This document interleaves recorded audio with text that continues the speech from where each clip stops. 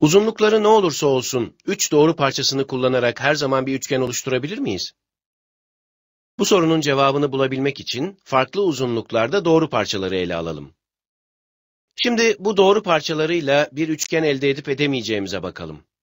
Gördüğünüz gibi bu üç doğru parçasını nasıl yerleştirirsek yerleştirelim bir üçgen oluşturamıyoruz. Şimdi de farklı uzunlukta üç yeni doğru parçası ele alalım. Bu doğru parçalarını bir araya getirdiğimizde ise bir üçgen elde edebildiğimizi görüyoruz. İlk örneğimizde yer alan doğru parçalarıyla bir üçgen oluşturamamamıza rağmen, ikinci örneğimizde yer alan doğru parçalarıyla bir üçgen oluşturabildik. Sizce bu doğru parçaları arasındaki fark ne olabilir? Bu soruyu cevaplamak için doğru parçalarının uzunlukları arasındaki ilişkiyi inceleyelim. Bu amaçla Çalıştığımız bu doğru parçalarının uzunluklarını ölçerek, bu uzunlukları üçgen oluşturamayan ve üçgen oluşturabilen doğru parçalarının uzunlukları olarak nasıl sınıflandırabileceğimize bakalım. İlk örneğimizdeki doğru parçalarını ikişer ikişer ucuca getirip birleştirdiğimizde, iki doğru parçasının oluşturduğu yeni parçanın uzunluğunun bazı durumlarda üçüncü parçadan uzun, bazı durumlarda ise kısa olduğunu görüyoruz. İkinci örneğimizdeki doğru parçalarını da ikişer ikişer ucuca getirip birleştirdiğimizde, tüm karşılaştırmalar için yeni oluşan doğru parçasının diğer doğru parçasından daha uzun olduğunu görüyoruz. Başka bir deyişle, üçgen oluşturabildiğimiz doğru parçalarından herhangi ikisinin uzunluğunu topladığımızda elde edilen toplam, üçgeni oluşturan üçüncü kenardan her zaman büyükken, üçgen oluşturmayan doğru parçaları için bu durumun her zaman sağlanamadığını görüyoruz. Peki buradan yola çıkarak bir genelleme yapabilir miyiz?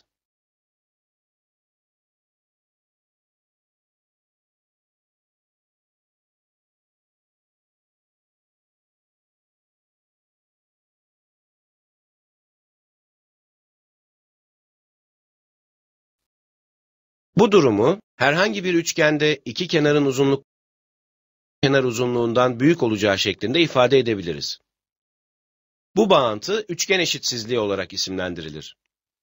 Buna göre bir üçgende üçgenin kenarları A, B ve C olmak üzere A küçüktür B artı C, B küçüktür C artı A ve C küçüktür A artı B eşitsizlikleri sağlanır. Üçgenin herhangi bir kenarı için bu kenarın diğer iki kenarın toplamından büyük olamayacağını belirttik. Peki kenarların sadece bu koşulu sağlaması yeterli midir? Örneğin üçüncü kenar uzunluğu diğer iki kenar uzunluğu toplamından küçük herhangi bir sayı olabilir mi?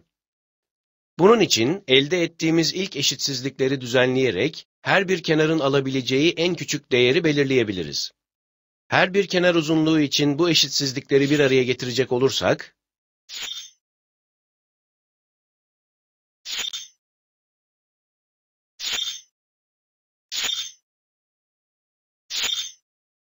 Bir üçgende iki kenarın uzunlukları toplamı, üçüncü kenar uzunluğundan büyük ve iki kenarın uzunlukları farkı, üçüncü kenar uzunluğundan küçük olmalıdır gerekçesini elde ederiz.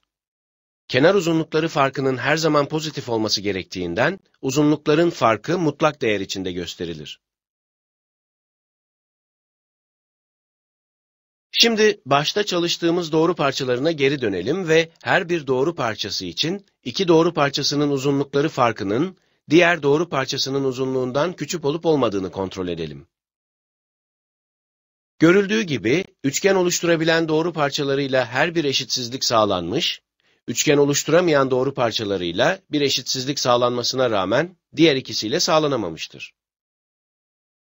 Buradan bir üçgen oluşturmak için her bir kenarın diğer iki kenarın farkından büyük, toplamından küçük olması gerektiğini bu şartlardan herhangi birisi kenarlardan biri için sağlanmadığında verilen kenar uzunluklarına sahip üçgenin oluşturulamayacağını söyleyebiliriz. Buna göre A, B, C kenar uzunluklarına sahip bir üçgen oluşturabilmek için verilen eşitsizliklerin tüm kenar uzunlukları için sağlanması gerekmektedir.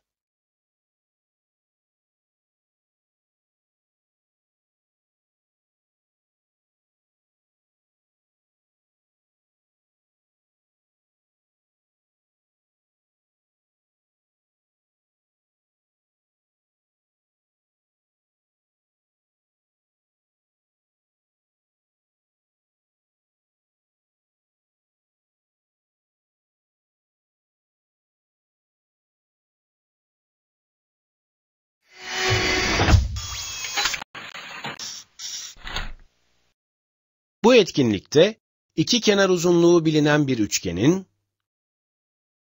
uzunluğu bilinmeyen ve x ile gösterilen üçüncü kenarının alabileceği olası uzunluk değerlerini gösteren aralığı bulmanız beklenmektedir.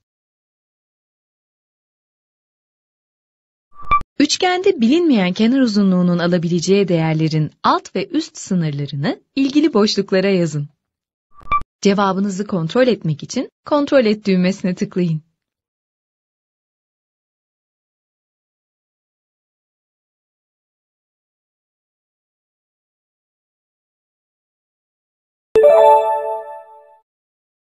Tebrikler.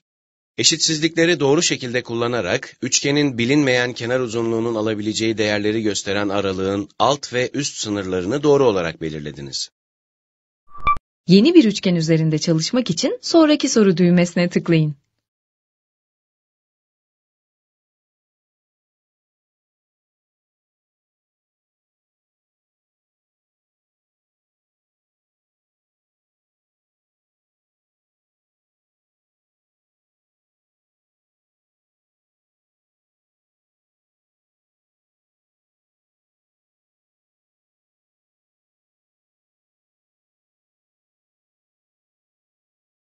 Bir üçgenin tüm iç açılarının ölçüsü birbirine eşitse, bu üçgenin bir eşkenar üçgen olduğunu, dolayısıyla kenar uzunluklarının da eşit olduğunu hatırlayalım.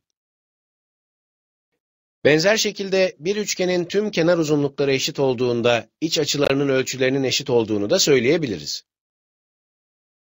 Ancak her üçgen eşkenar değildir.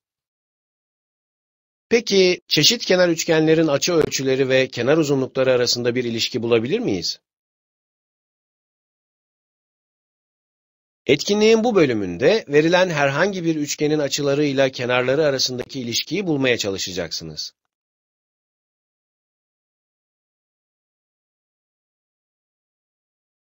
Açı ölçüleri verilen bir üçgenin kenar uzunluklarını sıralayabilir miyiz?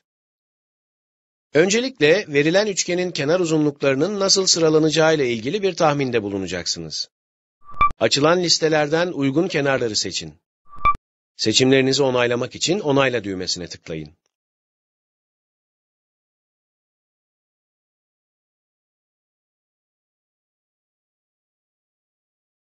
Açı ölçülerini göz önünde bulundurarak kenarların uzunluklarının sırasıyla ilgili bir tahmin yaptınız. Şimdi tahmininizin doğru olup olmadığını gözlemleyecek ve açı ölçülerinin sıralamasını temel alarak kenar uzunluklarının sıralaması ile ilgili bir sonuca varacaksınız. Farklı üçgenler oluşturmak için üçgenin köşelerini sürükleyin. Her yeni üçgenin açı ölçülerinin ve kenar uzunluklarının sıralamasını gözlemleyin.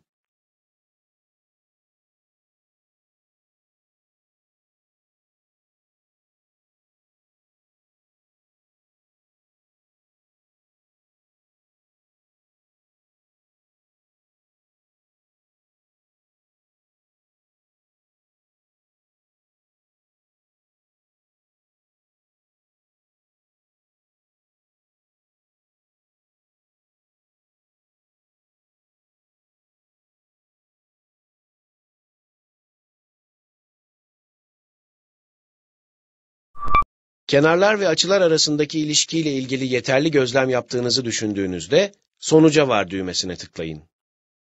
Açılan listelerden uygun ifadeleri seçin. Cevabınızı kontrol etmek için Kontrol et düğmesine tıklayın.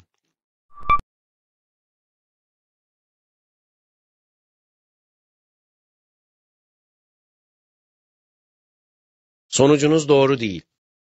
Doğru sonuç bu şekilde olmalıydı tahmininizin aslında doğru olduğunu görebilirsiniz. Bir üçgenin iç açı ölçüleri verildiğinde kenar uzunluklarının nasıl sıralanacağını belirlediniz. Yeni üçgenler oluşturarak açı ölçüleri verildiğinde kenar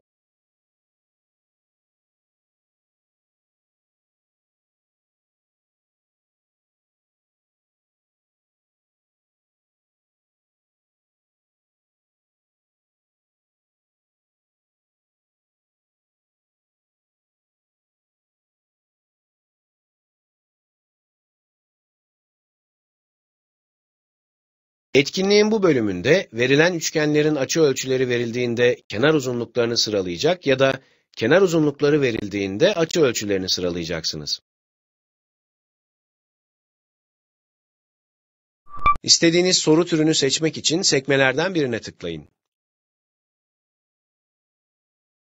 Verilen üçgenin açı ölçülerini göz önünde bulundurun ve kenar uzunluklarını üçgenin doğru kenarlarına yerleştirin. Kenar uzunluklarını tablodan sürükleyin ve üçgenin uygun kenarlarına bırakın. Yerleştirdiğiniz kenar uzunluklarını üçgenden kaldırmak için temizle düğmesine tıklayın. Cevabınızı kontrol etmek için kontrol et düğmesine tıklayın. Açı ölçüleri verildiğinde kenar uzunluklarını sıralamaya devam etmek için sonraki soru düğmesine tıklayın. Kenar uzunlukları verildiğinde açı ölçülerini sıralamak için diğer sekmeye tıklayın.